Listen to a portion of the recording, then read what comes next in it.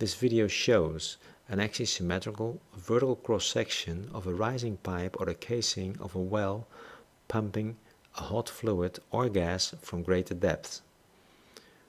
The casing passes a shallow aquifer on its way to ground surface. The top shows the temperatures between 10 and 85 degrees centigrade and the lower part shows the distribution of some chemical in the aquifer that will be redistributed by convection caused by the hot well casing.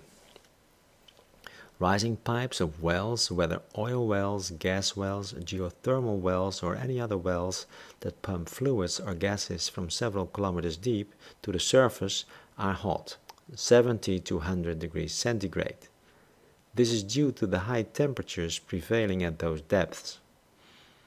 At shallower depths, these pipes or casings as they are called pass through aquifers that may be supplying drinking water.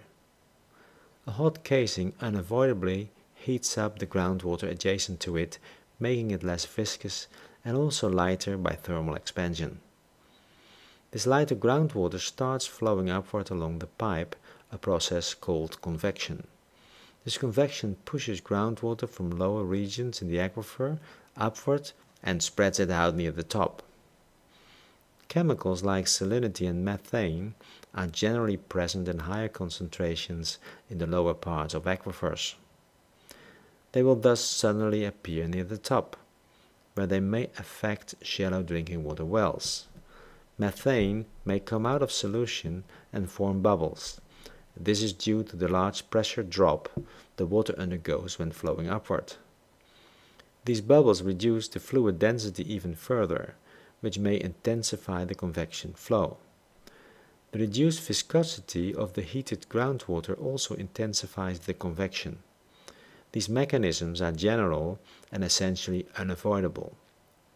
Therefore, one should not wonder to see pure methane escaping from drinking water taps connected to groundwater wells, as was recently shown in the 2011 documentary Gasland.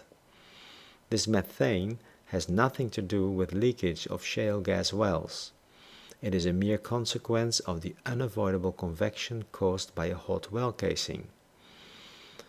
The problem must be expected to become ubiquitous when hundreds of thousands of shale gas wells are going to be installed in many states and countries in the coming decades. The curved lines in the figures are streamlines.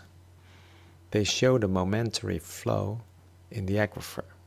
The amount of water between each pair of streamlines is given as deep psi in the figure heading. The streamlines indicate an intense upward flow near the well and from the well outwards along the top of the aquifer. This is compensated in turn by downward flow at distance and flow towards the well in the bottom region of the aquifer.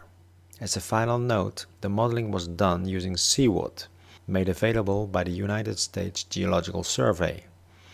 The modeling environment mfLab was used. This is available for free on code.google.com